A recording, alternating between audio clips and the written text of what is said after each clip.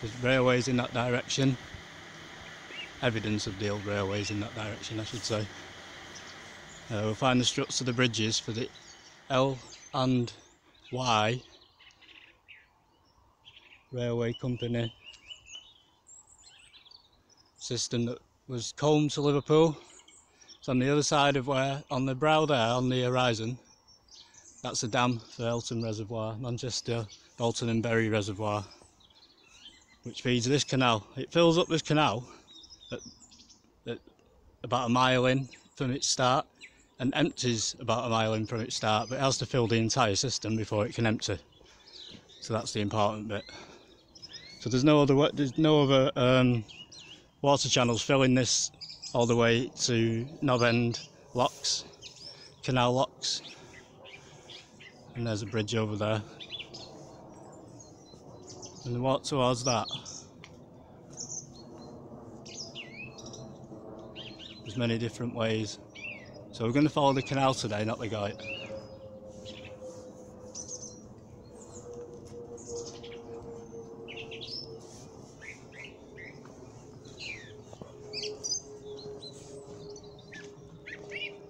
Over there we can see the iron bridge from the Metrolink system and train line. Be very good. There's a chimney in the horizon there. It's in there. There's also a pylon, it's next to the pylon. There's no running taps till like in the 30s and up to the 70s. Some place houses didn't even have running water. So it's one of the first railways and some of the innovators. And Mr. Beeley also owned at the end of this guy, which travels one and three quarter miles, as I've said. He had a mill which was powered by six turbine water wheels. And let's try not to do things like this. That's just disgusting, isn't it? It goes in the Irwell. It's your planet too, whoever's dumping that. Ends up in your drinking water, your children's drinking water, as well as mine. So you're not getting away with anything, you're not smart. Let's carry on. Save our green belt.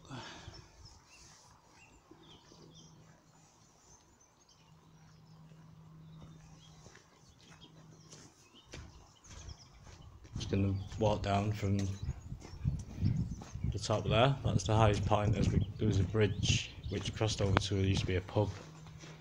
Funnily enough, back in the 1800s, the name escapes me. It's the Hare and Hounds or something. The Millers Inn. I'm not sure, but there was a pub there. We're gonna take a look at the overflow system. So as I say, the water channels in down the canal feeder, feeds the entire system with water and then overflows through here. Just show you two culverted channels allow, once the canal's full, it allows the water back into the Irwell.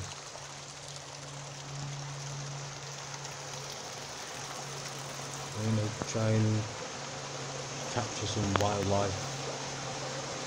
You can see some swans a bit further down. So that's where the water re-enters the Irwell.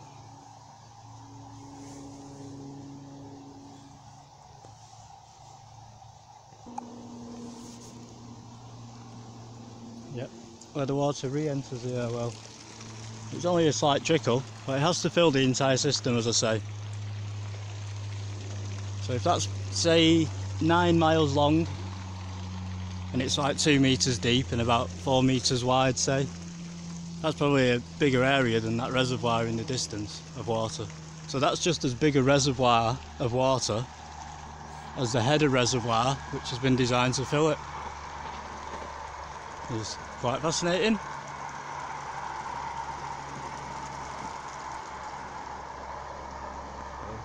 There goes the tram just as we set off. We've got some information involving the Industrial Revolution and how this area used to be.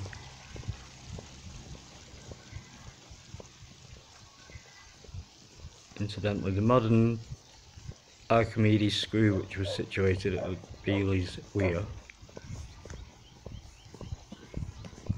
generates electricity. Um, I'm not sure if it goes through Daisyfield viaducts. It might be too far, so we'll see. Uh, maybe we'll just end at the docks of Daisyfield and explain the end of the canal which is missing, which used to lead to a wharf, which I've just found out. Well, I'm always finding things out. Beely invested in that wharf, which means the wharf is a lot older than the Industrial Revolution. He's been in business since the 1600s. His two brothers like, one of them was called William. And Howard, maybe. Hello. Would you like to be on television? I've got no food, I'm sorry. But you're so pretty. I'm going to film you for the television. Hello. Good evening. Watch out, there's a big dog coming. You might have heard him. Is your friend? Thank you.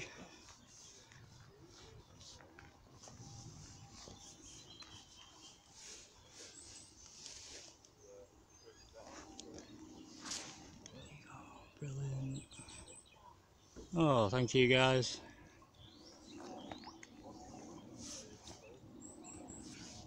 All right. Night night then.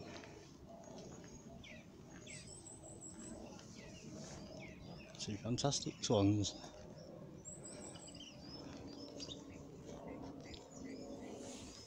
So, maybe all worth this after all.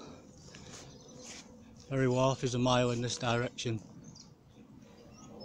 Then he passed away, and so he's Joseph Beely.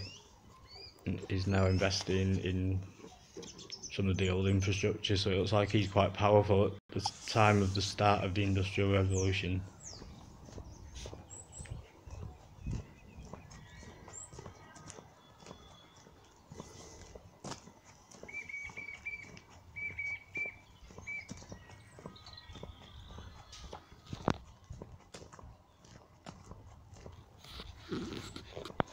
So of course the wildlife has been here probably much longer than people have. There's probably ponds and lakes here. Well, they must have been for the animals to evolve. But so they've made their home along these waterways. So we can't just, you know, rip them out. We should have a bit more respect for wildlife because not only did we use water to power things a long time ago, we had to use horses horses have been alongside us along with dogs for you know thousands of years since we first tamed these sort of animals and used them and livestock. And I don't know I think we're a bit ignorant to the way maybe we used them or you know, you got to remember like the first right up to the first world war horses were you know dragging things across battlefields and you know, when they built the bridge across in Glasgow, the fourth, the first and five, the iron bridge there, which is tremendous swing bridge. Uh, the horses dragged things around, you know, what I mean, on the site. I know most things were built on site and nearby there, but I'm just saying because I know for a fact the anchor for the Titanic had to be dragged. You know, a few few miles. It was like needs like 76 horses to drag it because it was the roads were terrible and well, how else are you going to do it? That's where the term horsepower comes from. But we've used animals, you know, for a long time. We don't really look after the wildlife, so anyway, just a little speech about that.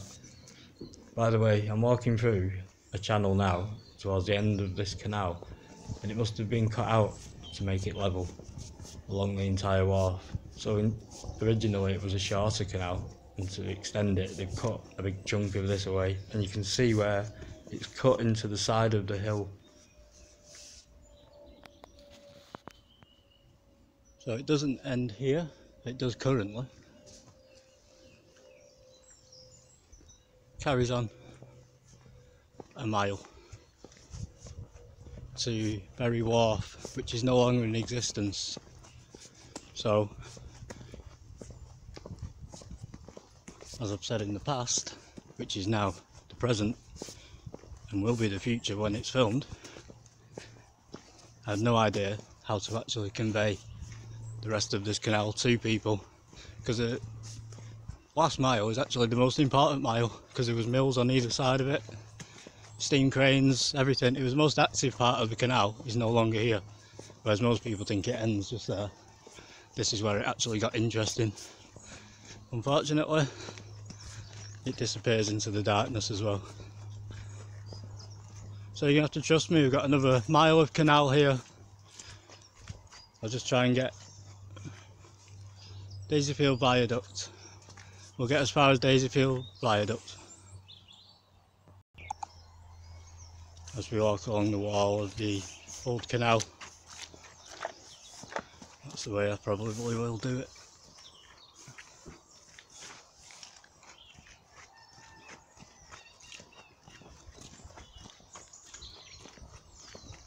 Think we picked up some very interesting wildlife. I love to be an expert on birds. I bet there's people who can walk around and say, that's such a bird, that's such a bird, that, that bird's calling to such a thing. And, you know I mean? One's, it's a mating call or it's a desperation call and I haven't got a clue. Just sounds nice, I think. Once again, nighttime looms. And that's the channel from Daisyfield. There's a docking area of some description and canal system. There is loads of canal outlets along these canals. The Rochdale to Manchester, I got a bit of a paradox going on there, but I've sussed it all out now and I'm going back to do that. And there's two canals. One's on the other side of Chadderton, so it'll link nicely. And what I'm going to do is two sections of the Rochdale to Manchester Canal. I'm going to go into the town centre because we are Manchester UK after all. So we're going to, the first part will be Castleton down to Chadderton. And we'll go to, there's the Heywood branch canal and there's a Chadderton branch canal which is no longer in existence but there's evidence of them and the street names are things like Canal Street, Water Street.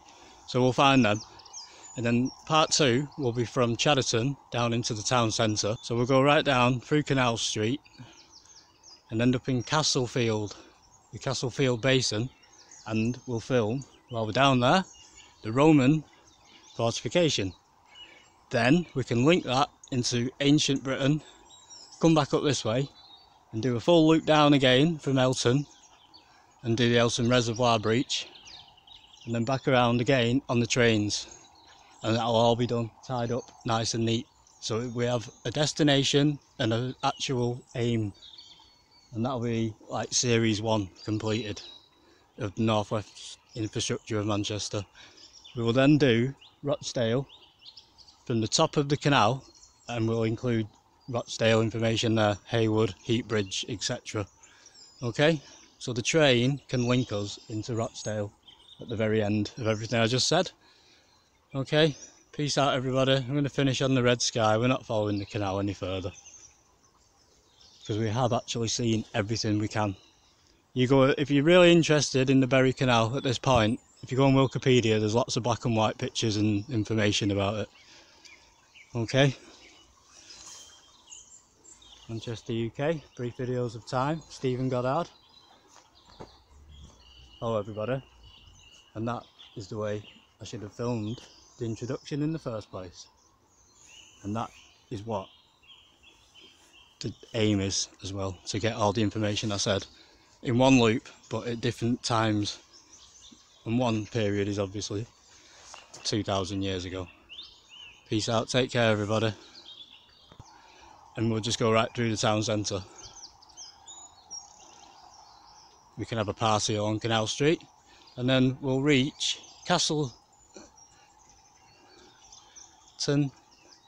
Basin it's not, it's Castlefield Basin, Stephen. And then we'll reach